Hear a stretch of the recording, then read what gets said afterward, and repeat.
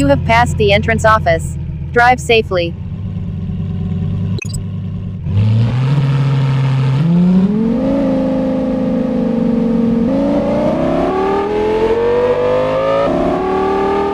It is a speed limit enforcement of 100 kilometers ahead of about 200 meters.